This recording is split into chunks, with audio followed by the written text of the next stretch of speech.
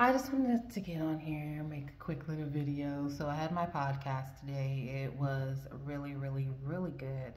It was um it was really awesome. I'm glad that I did it. I'm glad that I was able to go on there and um go on there. It was it was so cool. So I'm gonna make sure I post it to my page and um, like it, share it, comment on it, whatever. Um, I'll love any of the great feedback, but um, it was great. It was really great. It was relaxing. You know, the people that were the host of the show, they did amazing.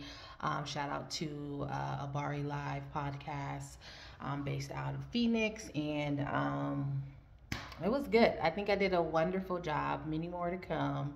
I'm excited about the new beginnings and everything that's getting ready to transpire and come my way. So I'm excited. Like I said, it was it was really good. I wasn't nervous. Um, my thing is that I, I talk so much.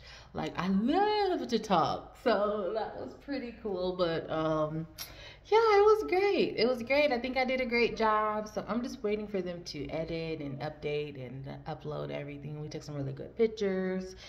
Um, got a lot of good feedback from the host and his wife, and um, they had this beautiful little baby there. She was so cute. She she pretty much ran the show, so she was adorable. But um, yeah, it was awesome. It was awesome. It was awesome. And um, so they're like a whole production company.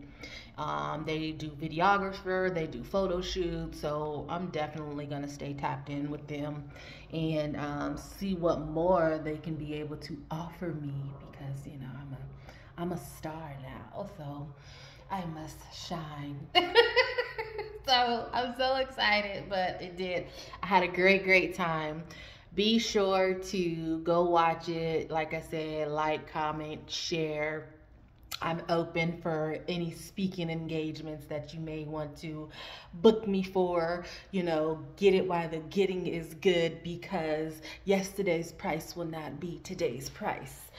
And I'm just letting you know that when I get to the big time, you're gonna wish, you're going to wish you had booked me before I get booked. no pressure, all pressure. So um, I'm super excited and um, I just got back home. So I'm gonna relax, cook some dinner for the kiddos, chill out. But I mean, I'm just so blessed for everything that God has coming my way. And I mean, it's only, it's only, only, only, only on its way up. Um, I'm also gonna be posting something else come March the 22nd.